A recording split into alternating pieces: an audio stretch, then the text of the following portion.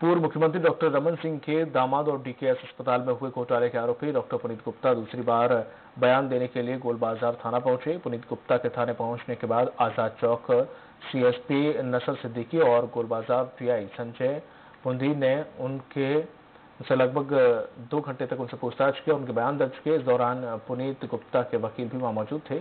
जाँच टीम द्वारा पूछे गए सवालों का पुनीत गुप्ता ने फिर कोई संतोषजनक जवाब नहीं दिया। और एक बार फिर दस्तावेज़ न होने का हवाला दिया। पुनीत गुप्ता ने पूछे, जो पूछताछ हुई उनसे, वह कहा कि वक्त कि हमें अभी दस्तावेज़ नहीं मिले हैं, वक्त आने पर देंगे, इसलिए जवाब अभी नहीं दे पाऊँगा। पुनीत को पुलिस ने नोटिस देकर आज दूसरी बार पूछताछ के लिए बुलाया था। अब पुनीत गुप्ता के खिलाफ चार्जशीट दाखिल करने की तैयारी पुलिस कर रही है।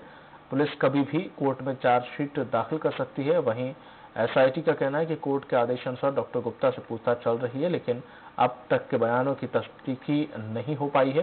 पुलिस अपने इन्वेस्टिगेशन में चार्जशीट तैयार करेगी। अपराध दर्ज होने की तारीख से आगे जाँच कर जल्द तय समय सीमा में चार्जशीट कोर्ट में प्रस्तुत कर दी जाएगी। मेरे को फिर से बुलाया गया था। और मैं मेरी पूरी कोशिश रहेगी कि मैं कमेटी के सामने अपना पक्ष रख सकूँ। और जब वो बुलाएँगे आगे तो मैं उनको सहयोग में सहयोग देने के लिए तैयार हूँ। दस्तावेज़ शायद पीछे पर पूरे नहीं थे तो क्या इस बार पूरी तैयारी के क्योंकि कोर्ट में केस पेंडिंग है इससे मैं आपको इसके अलावा कुछ नहीं बता पाऊँगा और क्षमा चाहता हूँ। हम अपने हिसाब से पूरा जवाब दे दिया है बाकी जानकारी आपको आई ही दे पाएँगे।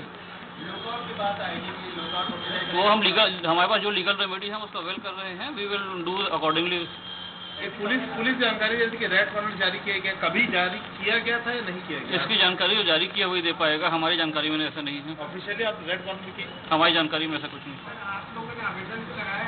आवेदन जो हमारी लीगल रेमेडी है हम उसको अवेल कर रहे हैं वो तो हमारा अधिकार है।